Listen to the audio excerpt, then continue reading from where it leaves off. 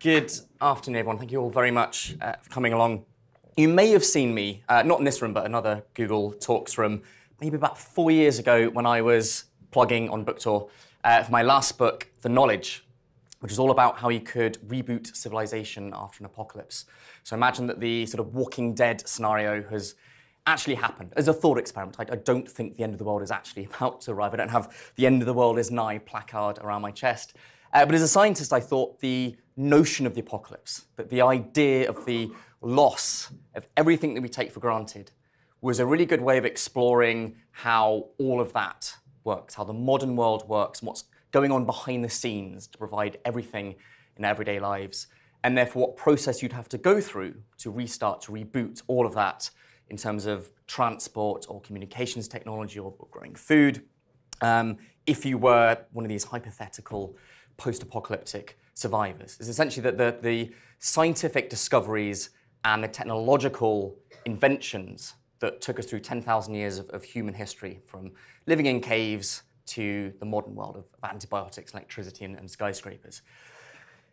And what I wanted to do for this new book was kind of pull out the focus even further and not look at how human ingenuity and discovery and invention enables to build the modern world and progress through history, but how the world itself, the planet that we live on, has played a, a crucial role, a key part in that story of humanity. Going right back to the very beginnings, our origins as a bipedal intelligent species of, of ape in East Africa, through to the very emergence of agriculture and civilizations and then through the thousands of years of, of history, of the rise and fall of empires and different cultures and societies, right up to the modern age, the, the modern world of current affairs you read about in the newspapers or, or, or modern political maps. There is the fingerprint, the signature of features of our planet behind all of that, pulling the strings in subtle ways. So I'm, not saying that culture and sociology and people have not been important in history. but Of course they have. What I'm saying is that beneath, and if you'll excuse the pun, beneath all of that is, is the bedrock, is the foundation of planet Earth, of processes like plate tectonics or the geographical distribution of different resources, the circulation of the atmosphere high above our heads, which gave us the trade winds and the way of exploring around the world and building these huge transoceanic uh, trade routes in the very beginnings of globalization. And so this is what I've tried to explore in this new book, Origins, How the Earth made us, how Earth and planetary features have been often neglected when we talk about history, and these grand themes, these grand trends over the centuries and the millennia. And what I wanted to do for, uh, for this afternoon was just pick out some what I think are the most interesting narratives, the most interesting stories from this book, of those deep, fundamental links from planet Earth to world history, to human history. And we might as well start the story at the beginning, in the making of us, in our origins and evolution in East Africa. This is our family tree you can see on the left here. This is the hominin lineage, we, the, the, the human-like species. We split, we diverged from the chimpanzees about seven million years ago, and there have been dozens and dozens of human-like hominin species uh, up until Homo sapiens, which is our own species, um, down at the bottom, in this great big branching tree of evolution. And over time, we've become increasingly more bipedal, we've walked upright, we've got better at running quickly and efficiently. We've had uh, jumps, we've had increases in our cranial capacity, in our brain size, which has been linked to increases in our intelligence and our cultural ability and our ability to learn and, and solve problems. And so commensurate with all of this um, body evolution, we've got increasingly adept at technology, at tool use. And the very first tools, two, three million years ago, were, were literally just rocks strewn across uh, the East African floor with some Homo erectus plodding across the savannah, stubbing his or her toe on this rock and going, ugh. But then realizing that what stubby toe might be very good also for bashing other stuff with, and we, we invented technology, we invented tools by stuff we could just pick up and find lying around us. And then the story from there was with us getting better at refining and processing and tuning what we could extract and harvest from the natural world to be better at what we needed to do, better tools, leading up to Stone Age technology of things like very uh, fine chips of obsidian or flint, which give you very sharp spear uh, heads or, or arrowheads. And all of this story of our evolution as hominins and a lot of this technological development happened in this part of the world, in East Africa. This is the cradle of humanity. And, and incidentally, it's where I spent my own childhood, growing up in Nairobi and going most weekends and, and, and safari and going to a school called the Banda, which is Swahili for mud hut. I went to the mud hut school in East Africa and in Kenya.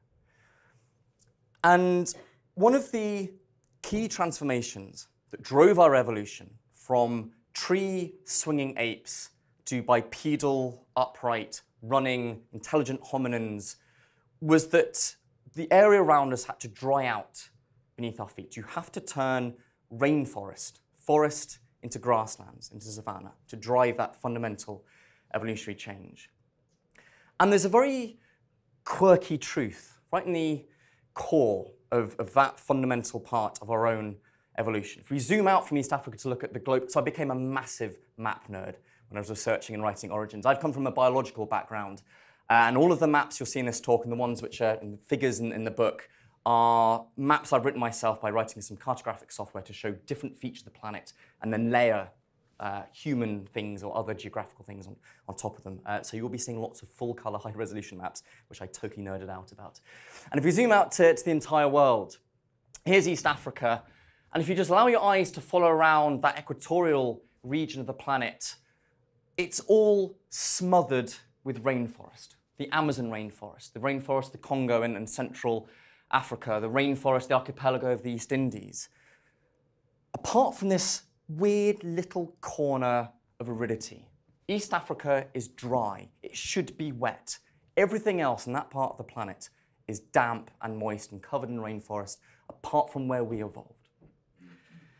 And so, what was going on? What drove that drying out of East Africa from beneath our ancestors' feet was there was a great big plume of magma rising up from deep in Earth's interior and pushing up into the underside of the continental plate of Africa. And if we strip away this satellite image and show you instead the topography of the land, the landscape of East Africa, coloured in red here are the Ethiopian highlands. This is literally the zit that formed on the face of planet Earth as this magma plume rose up and pushed beneath it, and then started to rip, tear open the crust of the planet into this characteristic Y shape of the Red Sea that ripped so deep that it then filled with the ocean, the Gulf of Aden over here, and then the third arm of that Y shape feature is the East African Rift Valley, passing all the way down south here. And the landscape of that Rift Valley, of that feature of plate tectonics, of, of Africa tearing itself apart, is that you have a very low valley floor. You have a tube, you have a tunnel of a low valley floor with towering mountainous ridges on either side. There are walls that are formed in East Africa that block moisture coming in from the ocean or coming in from the rainforests on the other side. And it's that rising of the, of the land, of the continent with that magma plume, and the features of that tectonic rift valley that dried out East Africa from beneath our feet, that drove that fundamental evolutionary process. But what's been puzzling paleontologists for, for quite a while, and we've only really started to understand this now, is well, what was it specifically about the East African Rift Valley that drove our evolution to be so exquisitely intelligent and adaptable and versatile? Plenty of places around the world dry out. There's nothing unique about that. What crafted us to be so intelligent as a species of ape? And what's been emerging in, in recent years from scientists is that there is a unique combination of conditions in this part of the world. We have those walls of the Rift Valley that collect the rainwater, that that does fall, funnel it down into the lakes strung along the valley floor. And so these lakes are exceedingly sensitive. The level of those lakes is exceedingly sensitive to tiny fluctuations in the local climate, in how rainy it is, between the hot valley floor and the rainy mountainous ridges. So the specific landscape of the Rift Valley is interacting with cosmic cycles, the so-called Milankovitch cycles and Earth's tilt or wobbles in its orbit around the sun. And during periods of this extreme climatic instability, we see bursts of evolution in that hominin line. Emergence of new species, jumps in brain capacity, jumps in the tools that have been created. We are very literally children of plate tectonics. It's that earth-moving process that drove our evolution as such a, as an intelligent species of ape. But although plate tectonics here created us as a species, we, we didn't remain in our cradle. We, we've come as far away as places like London. We have migrated around the planet. And this brings us to a different chapter in Earth's history and in our own history. What was it that enabled humanity to migrate out of East Africa to colonize every major continent around the planet, to become the most widely spread animal species in the world? This is the, the, the world, the map we'd recognize today. We, we, we're familiar with those outlines of the continents, with the coastlines. But the world did not look like this when we were emerging and migrating out of East Africa about 70,000 years ago. The world looked very, very different back then. The world was in the depths of the last great ice age. And in fact, that last ice age was only the most recent in a sequence of 50 or 60 ice ages in the last two million years. There's pulse after pulse after pulse of ice age. And the most recent one saw the growth of these great big glaciers and ice sheets, particularly across the northern hemisphere. And this sucked out so much water from the oceans that sea levels around the world dropped by over 100 meters, up to about 120 meters, and literally exposed uh, the seabed. The seabed emerged as dry land. And of particular importance for the human story, for our migration around the world, particular land bridges appeared uh, between islands, between different land masses. So the Sunda land bridge and the Sahul land bridge opened up in Southeast Asia and Australasia. We could migrate along the southern margin of Eurasia, around India, down through Southeast Asia, and simply walk to colonize those islands without having to get our feet wet. And most critically, of most importance to the thousands of years of human history after this, we were able to walk across the Bering Land Bridge from northeast um, Siberia all the way across into Alaska and the Americas. And as we were migrating out of our birthplace in East Africa, we encountered our sibling species, other hominin species, other human-like species that had migrated out of Africa before us and were living in Europe and Central Asia. The Neanderthals, you've probably already heard of. But there are also the Denisovans, a whole species of humanity sharing the world with us very recently, only a few tens of thousands of years ago. And all we know about this entire species of humanity has come from a few tiny fragments of finger bone. That is all that has remained of that species and preserved and protected in a cave. But we've been able to extract the DNA out of those uh, finger bones, sequence them, and recognize the signature of the Denisovans in our own DNA, in our own genome. We not just encountered these other human species, but we got quite friendly with them. We interbred with them. We carry their DNA inside ourselves like a cargo, a genetic cargo, as we've then continued that migration to populate the entire planet. And when we crossed into North America and then into South America, no previous hominin species had ever made it that far. As we walked down through the Americas, we were walking where no human species had ever trodden before. And then with the easing of the last ice age, the melting of the great ice sheets, the rising of the sea level, these two great hemispheres of the planet, of Eurasia and the Americas, once again became severed, became separated by each other as the sea levels rose and uh, inundated, resubmerged that Bering land bridge. These two human populations which essentially genetically identical. Both had access to wild species of plants and animals that they could domesticate and invent agriculture and start on two independent experiments in civilization, completely out of contact with each other. And it was only thousands of years later when Europeans started applying technology of sails and ships to cross the Atlantic, first with Columbus, to rediscover these lands, that these two great civilizations or clusters of civilizations once again became into contact with each other. Now, the first civilizations to arise after we had migrated out of Africa, exploiting those quirky climatic conditions of the last ice age and the very low sea levels. The first civilizations to arise uh, were in this part of the world. This is the Arabian Peninsula. I've just shown for you here um, the plate boundaries. Those orange lines, the fractures in the skin of our planet, where these great big chunks of crust, the tectonic plates, are moving and drifting around relative to each other um, in very, very slow timescale from a human point of view, but scudding across the surface of the Earth.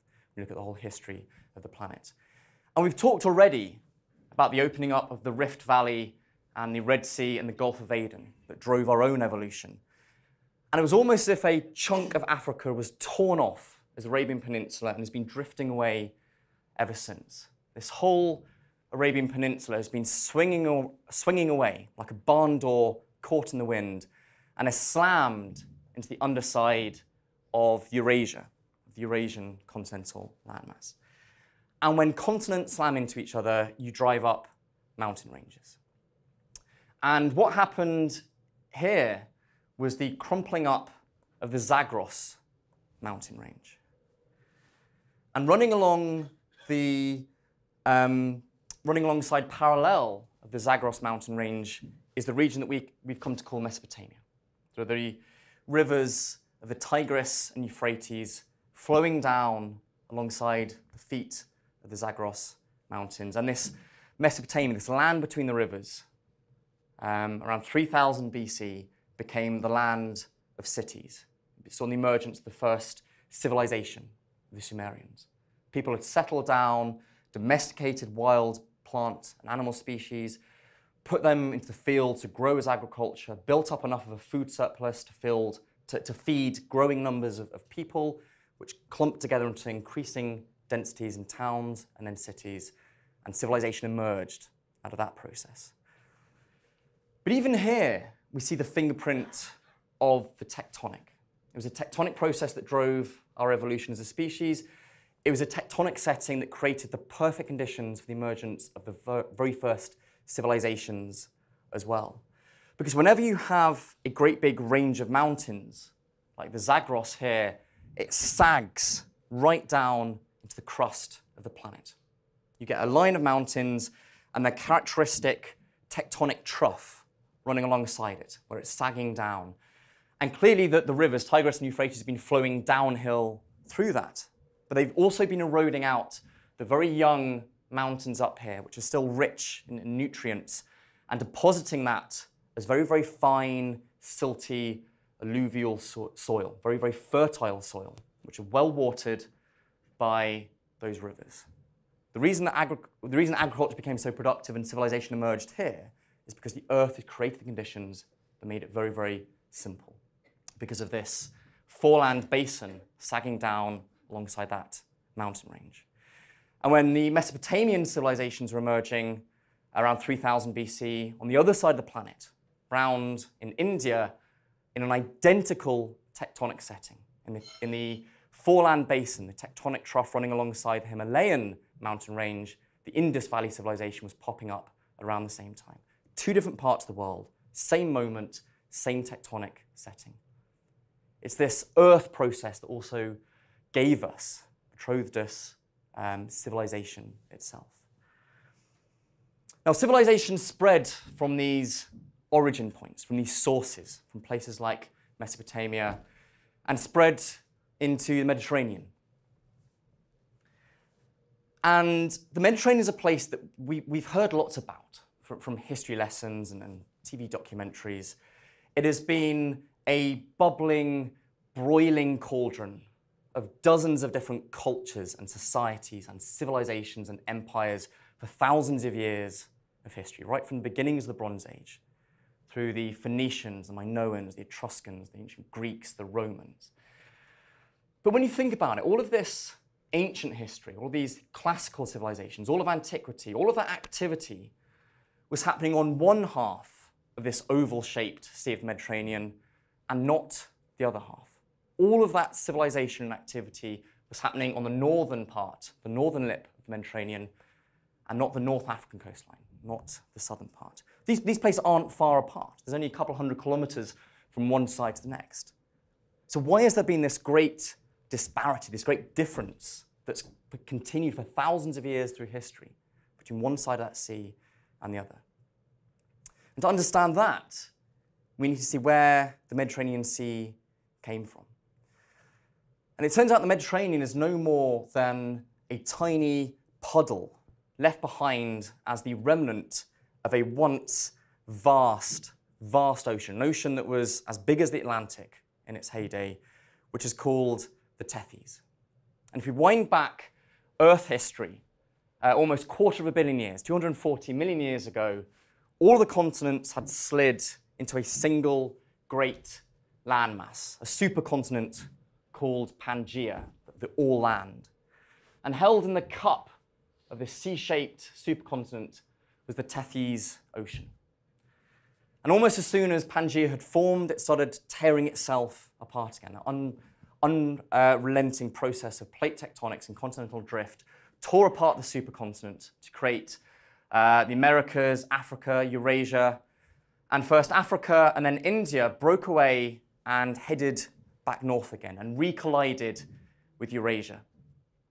And as Africa rode north, it essentially swallowed up this once great ocean of the Tethys. And all that remains today is crammed between Europe and Africa as the Mediterranean Sea. It's this oval shaped puddle from, from that once vast ocean.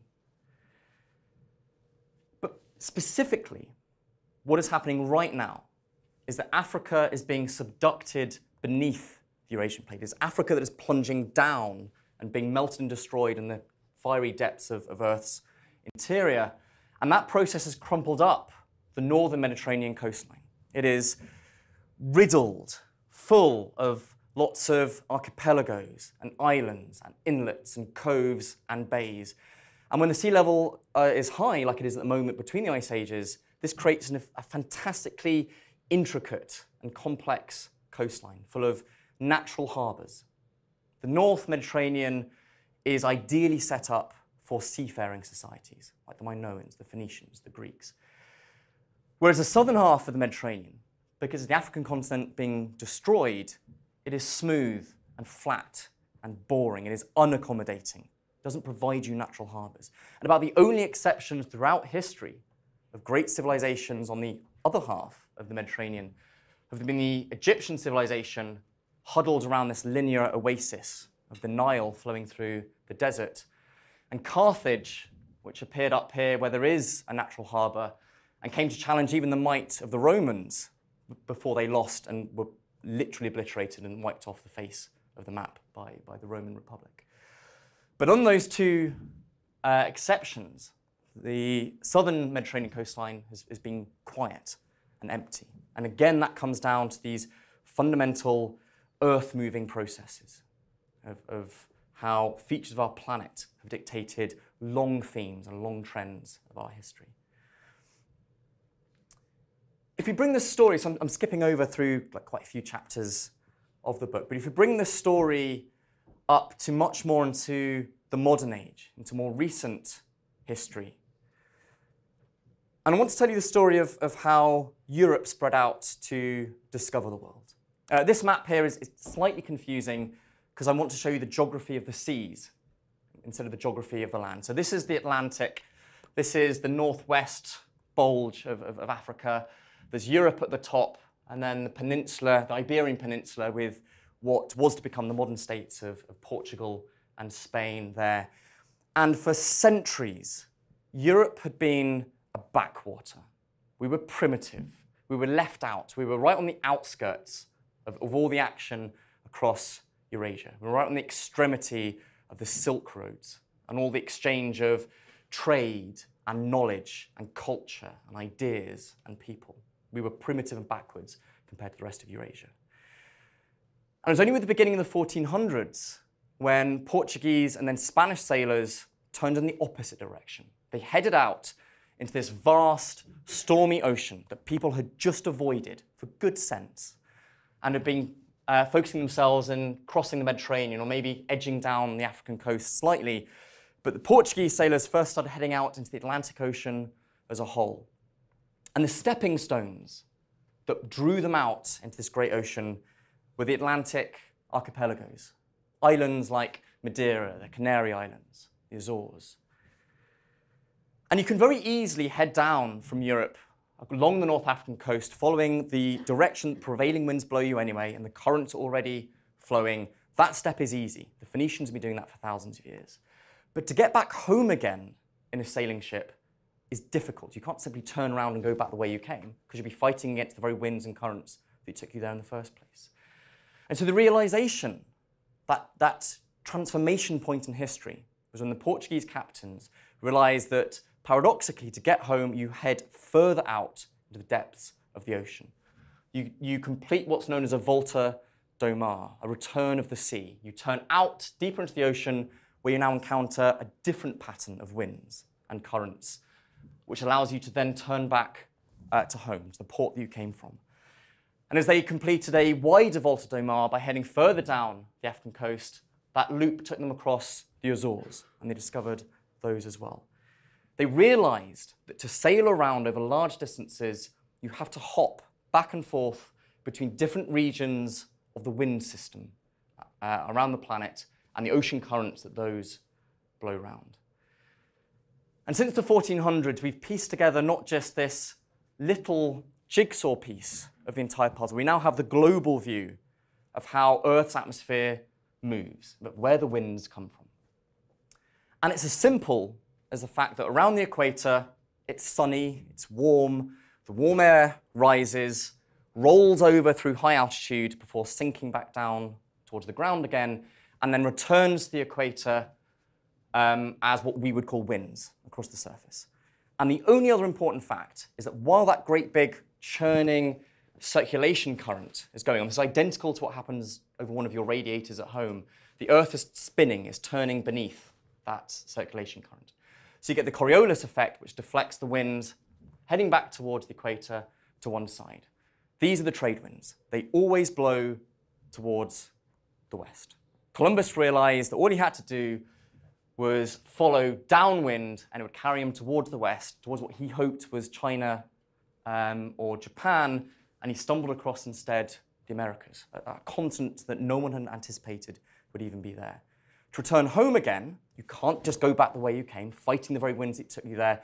You hop north ever so slightly to put yourself into a different circulation current of Earth's atmosphere, which generate the westerly winds that blow you very neatly in the opposite direction.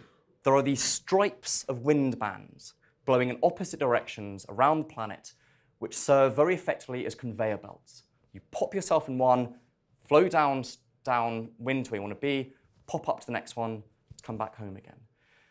And it was that fundamental realization that you can predict where the winds will be at different places that enabled us to explore around the entire world, build these great big trade links across the oceans, joining together the continents in a way that never happened before. This is the, the Portuguese route. They completed their uh, exploration down the African coast, around the southern tip of Africa, and eventually reached India and the Spice Islands they've been striving for all the time. And by taking that wide Volta do Mar through the southern Atlantic, you ended up looping around so far they stumbled across the coast of Brazil, of South America. The reason that Brazil speaks Portuguese, not Spanish, like the rest of that entire continent, is because these Portuguese captains stumbled across it because that's the way the wind blows you when you're trying to get round the southern tip of Africa. The Spanish, first with uh, Columbus, crossed the Atlantic, then down around the south coast of, of uh, the Americas, and discovered a whole new sea, the peaceful sea, the Pacific.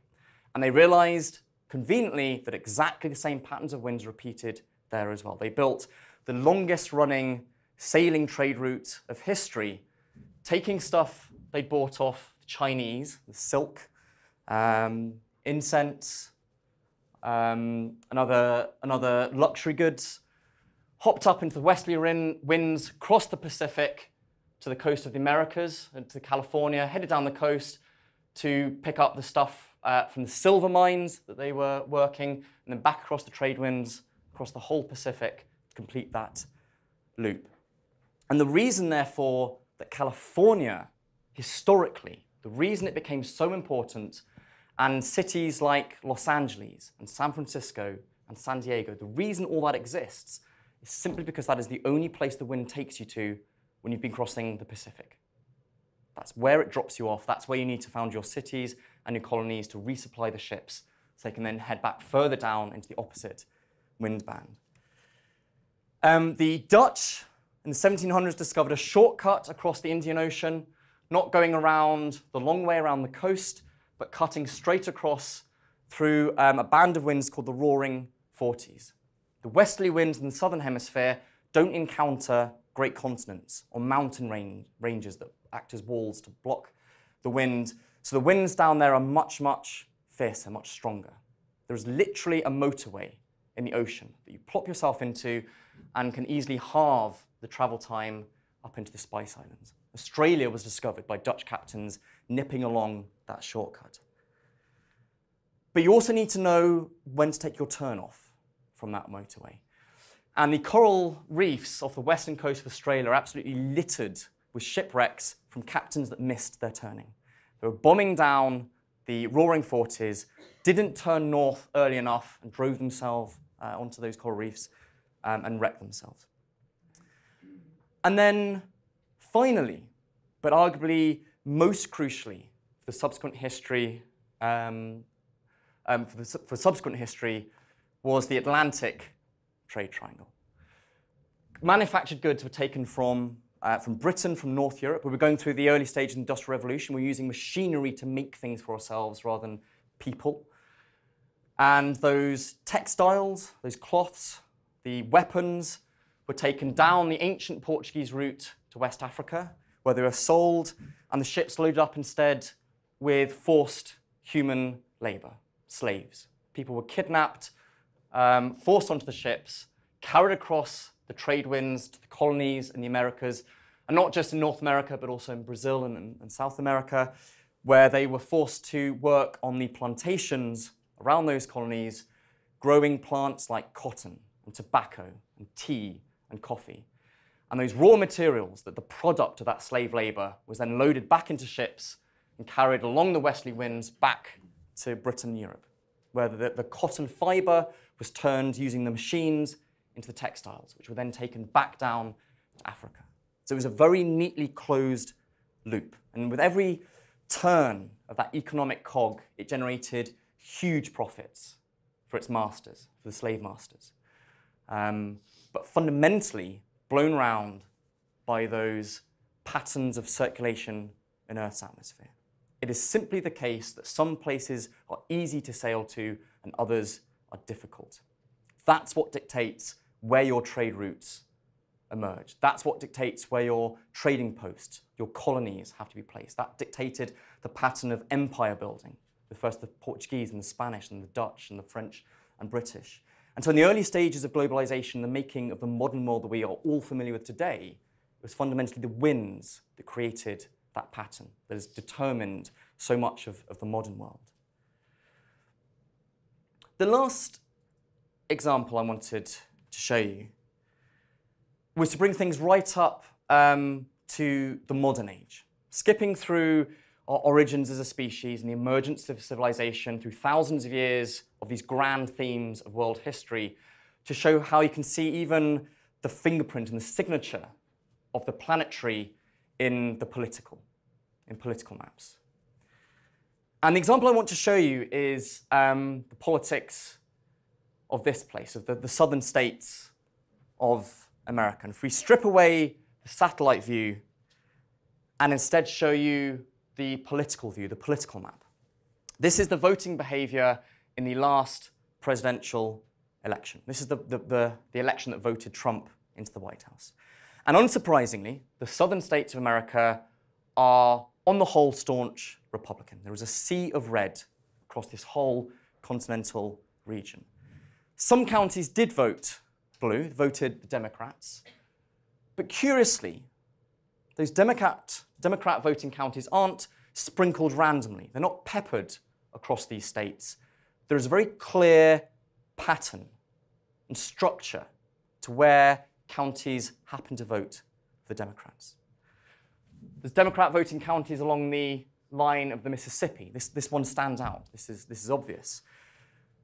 But what is much, much more curious is this arc, this crescent of Democrat voting counties that, that bears no relation to anything on the ground. You know, this isn't along a river valley, it's not, not along any particular terrain in the world.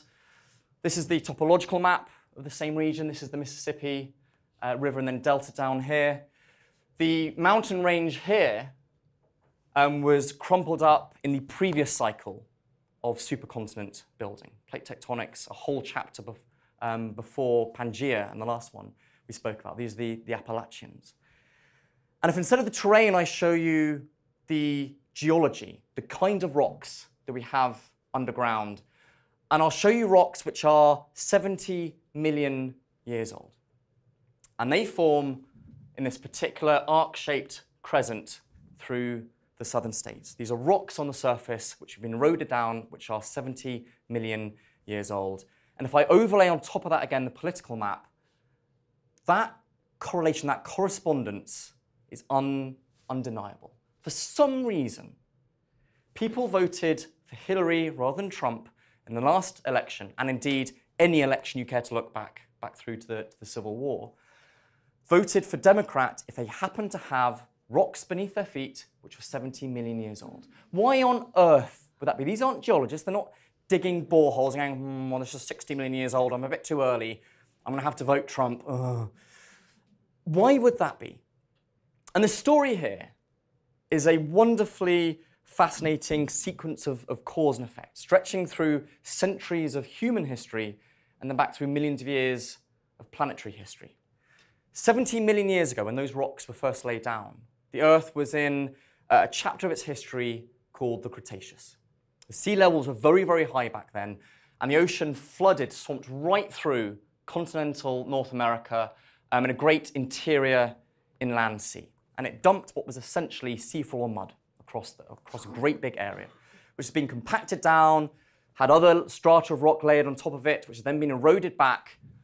So this is the seafloor mud which has been re-exposed here, which produces a soil when it's eroded and weathered, which is very dark, very rich, very uh, full of nutrients, very fertile.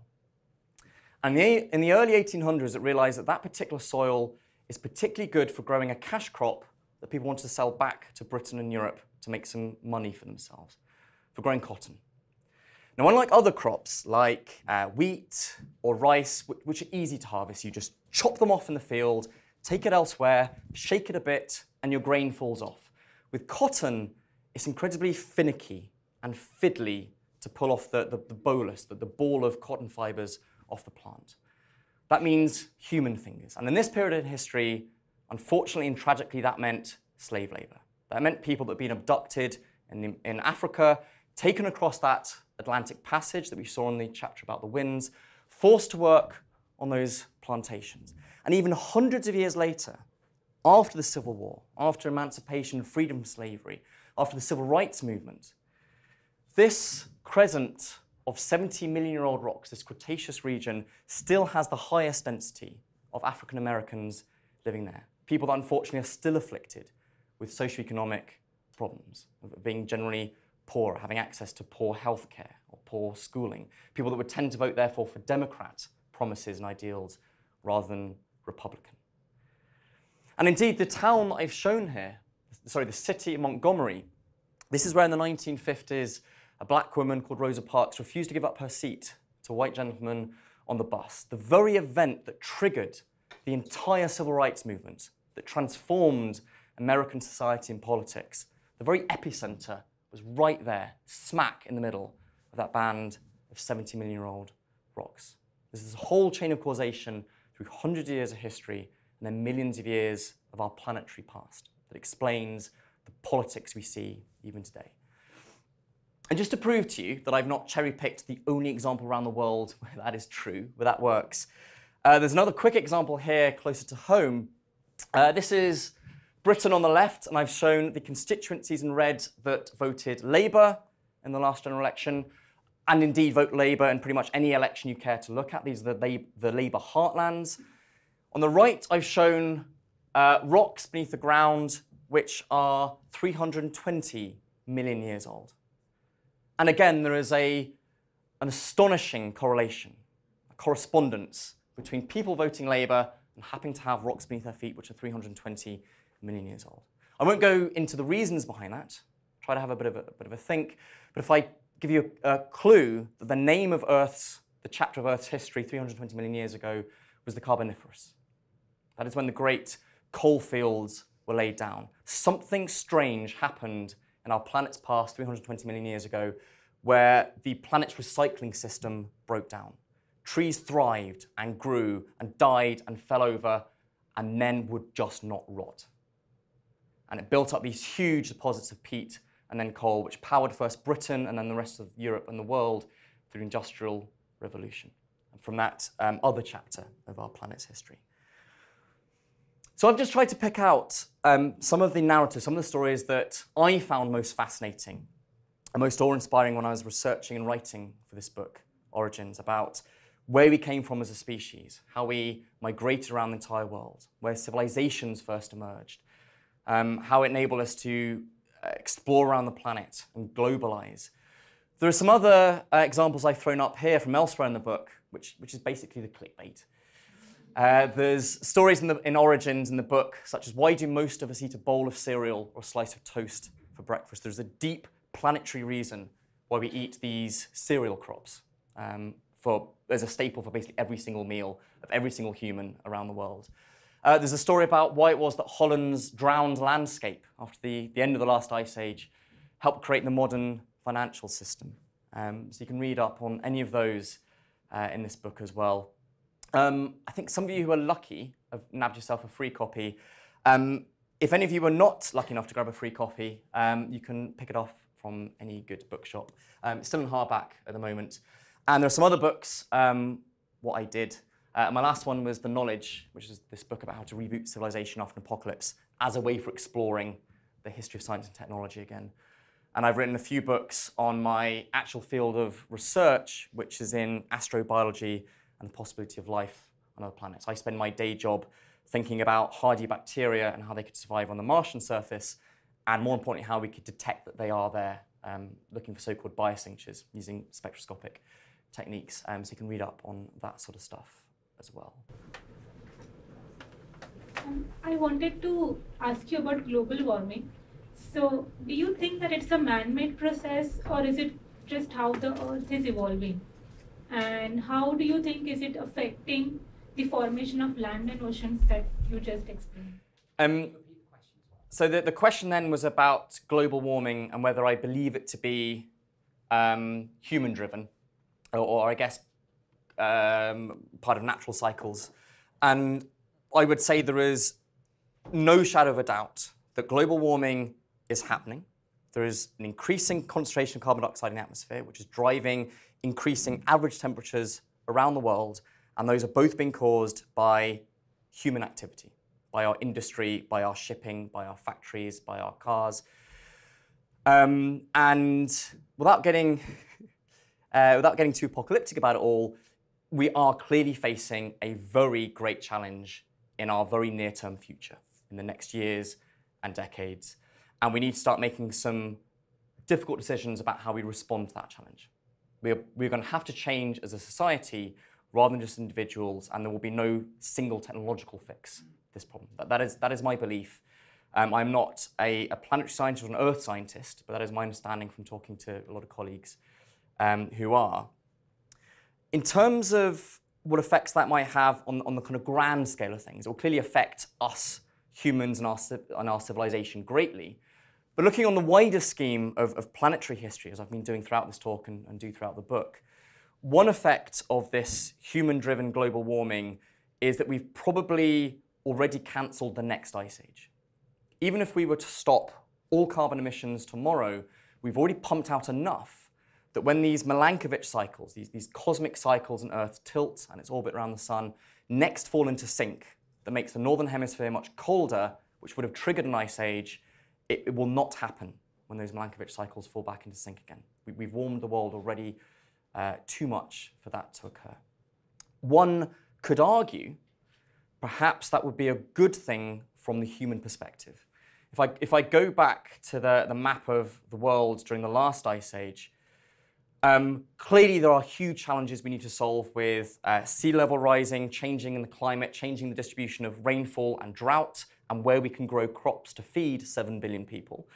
But if we're looking thousands of years in the future and we have cities in the northern hemisphere, things get quite tricky if there's four kilometers of ice sheet grinding over your cities. So one could argue that maybe in the long term, from a human perspective alone, cancel the next ice age might be a good thing. Yeah? Uh, as someone who thinks about apocalypses and the effect of the kind of globe or the earth on humanity, uh, what's your opinion on, on human civilization on other planets in either the short term, Elon Musk style, or even very, very long term? Yeah, so um, the last book, The Knowledge, I, I wrote. That there's different ways you could tell the same story. I picked the apocalypse because I think everyone loves The Walking Dead, and it was a, it was a neat little, um, almost kind of a cliche to, to latch onto. Exactly the same story could have been told you are launching uh, to another planet. What is the minimum set of civilization you need to put in a suitcase, put in a spacecraft, and go with you? And the Polynesians were doing this thousands of years ago. They, they had a set of plants that provided everything they needed for Polynesian society, and they packed it into a canoe and headed off towards the horizon to colonize um, you know, all of the islands in, in, in, the, in the far Pacific. So it is a really interesting question. How could you have an outpost of humanity, a colony of humanity on another planet? Mars would be uh, the natural choice after the moon for putting a permanent human presence. However, having said that, even under the best perfect conditions of a midsummer lunchtime on Mars, the conditions are unrelentingly brutal compared to the South Pole of the Earth. It is punishingly cold, very low atmosphere. We can't even take certain things for granted, such as being able to breathe the air or, or have ready access to lots of water. You have to, to fight for everything you need to survive on Mars. And the problem with, with space missions is that you can't, you are, you are severely limited in the amount of mass you can send somewhere.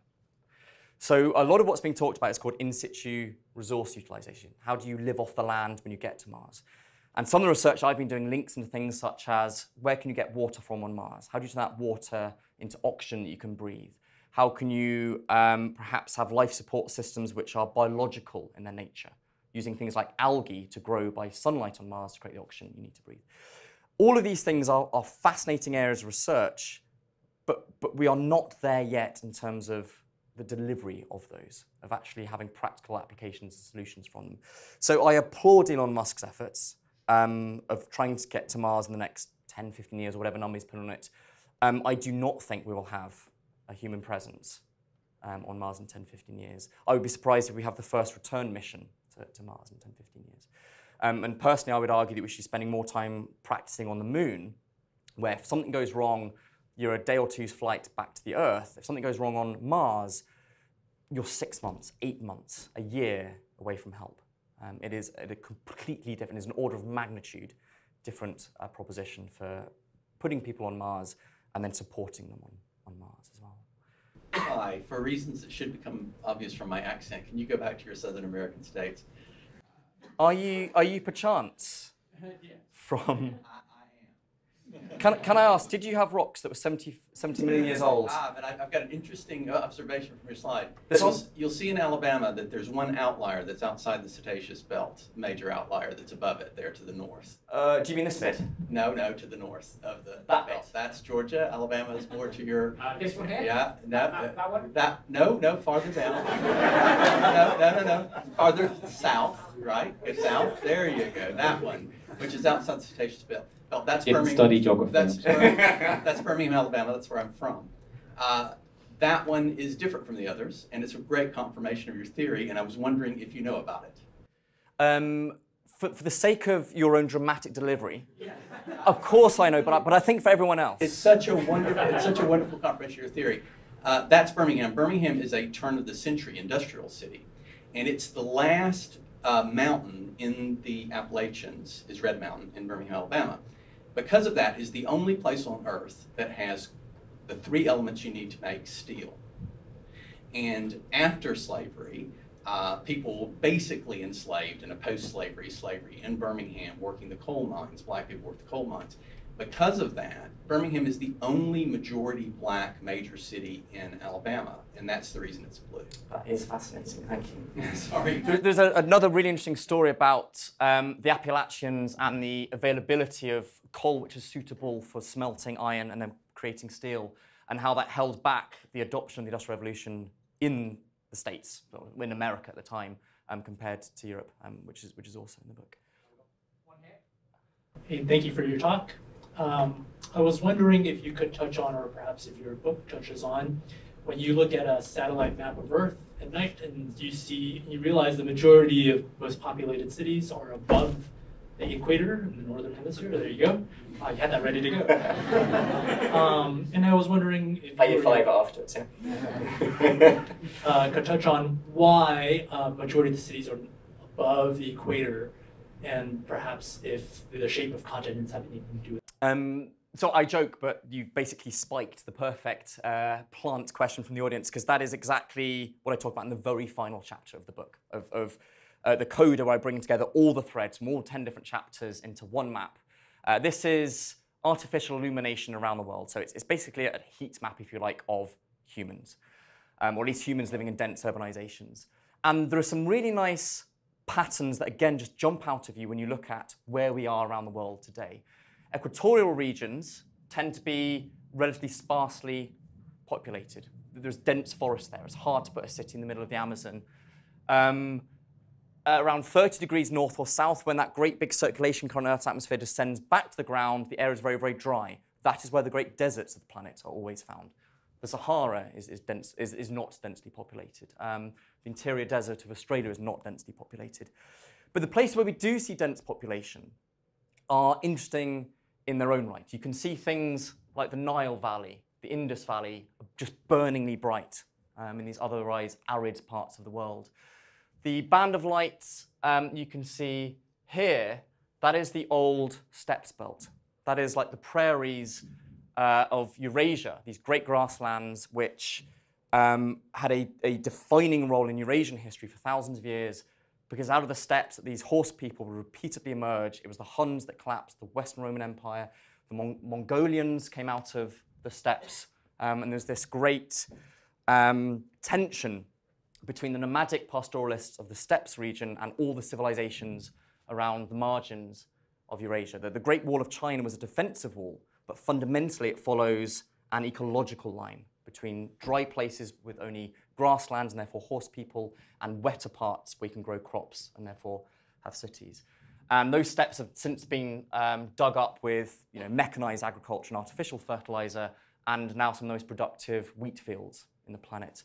The slightly thinner line down here, that's the route of the old Silk Roads. That's the string, it's like a, a string of pearls, a string of cities strung along the Silk Roads, um, going around the northern part of, of the Himalayas.